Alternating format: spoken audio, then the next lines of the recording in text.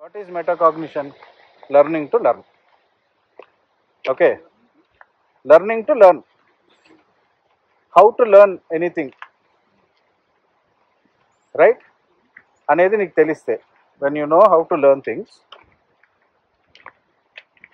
you will continuously your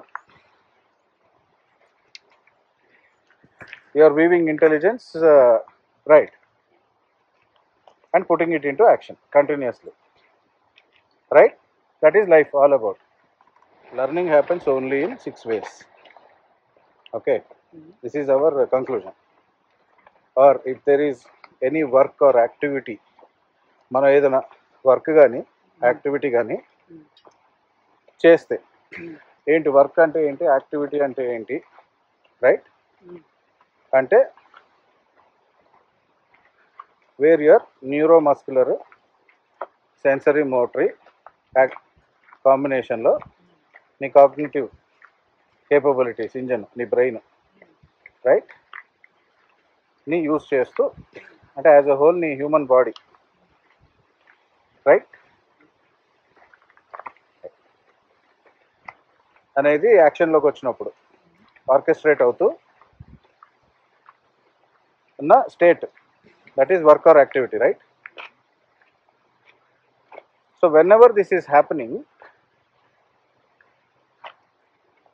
your brain the cognitive engine is fed with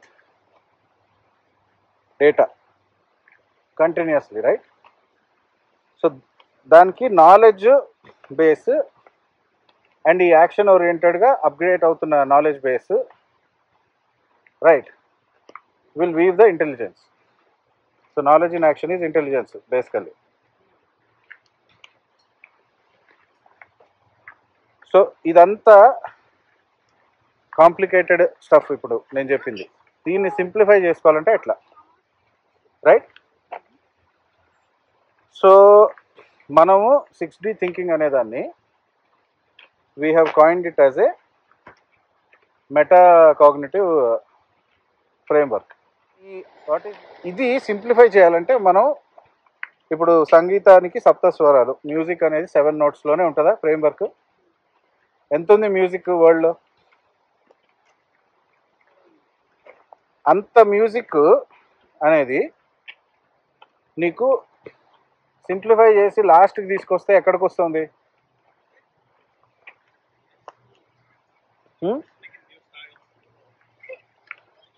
seven నోట్స్లోకి వస్తుంది Saptaswaralu or do re mi fa స ఉంది కదా? ఎక్కడైనా నువ్వు చూడు seven notes. Similarly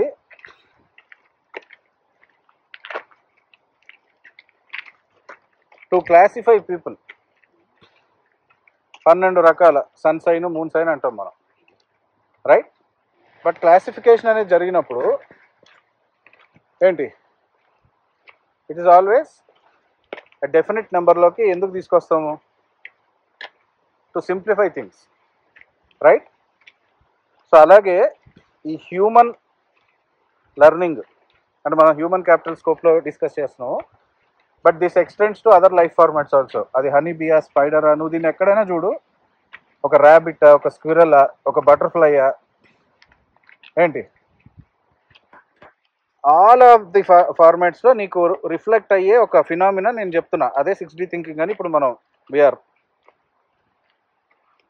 projecting it right or we are presented to the world it is a learning framework learning అంటే చెప్పే కదా learning is different from education packaging of learning is education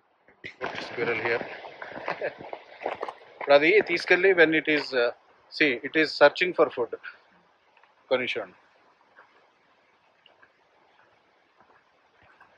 so ఇందాక నేను చూడు ఆ six ways of work activity దీనికి ఉంది. The squirrel also has the six kind of activities it does based on which it identifies its food it hides it its food right in a safe place in the ground again it will remember దాని GPS ఉందా? మనలాగా? But it will know the place it will go and it will again get its food right so ఇదన్నిట్లో when you are living your life in whatever format సోషల్లా social లైఫా professional లైఫా personal లైఫా right end of day your body your brain put together is functioning right when this is happening when we are training everybody for that right? Efficiency in your overall orchestration right? As a single unit if you see i am srikant right? But if i break you down right into right your neuromuscular skeletal orchestration right? And if i see at that level for a purpose right in your personal life you are doing your cooking or whatever all these things are coming into picture right? Orchestration. When you are in a social life this orchestration is there. In your professional life also this orchestration is there right?